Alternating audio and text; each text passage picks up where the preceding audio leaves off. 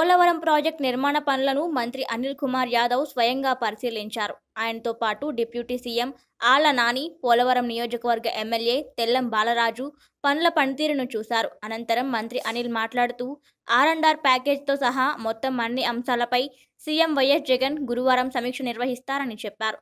July పదిహేను తర్వాత వచ్చే వరదల బారిన పడే అవకాశం ఉన్న నలభై ఎనిమిది గ్రామాల ప్రజలను సురక్షిత ప్రాంతాలకు తరలిస్తామని వెల్లడించారు. గడిచిన ఆరు నెలల్లో ఇరిగేషన్ ప్రాజెక్టులో జరిగిన పనులను పరిశీలించేందుకు సీఎం వైఎస్ జగన్ ఒక కమిషన్ను ఏర్పాటు చేశారని వివరించారు మంత్రి అనిల్. గేట్స్ ఏమైందంటే సార్ స్కిన్ ప్లేట్స్ గేట్స్ కావాల్సిన మెకానికల్ సెక్షన్ అంతా చేసేసి అక్కడ పెట్టేసిన తర్వాత గేట్స్ ముందే గేట్ ముందే తీసుకొచ్చి గేట్స్ వచ్చేటప్పటికి మనకి ఫార్టీ ఎయిట్ ఎలిమెంట్స్ బీమ్స్ కానీ స్ప్రింక్లర్స్ కానీ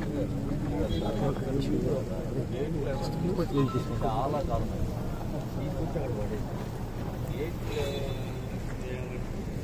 పడుతుంది గేట్ అనేది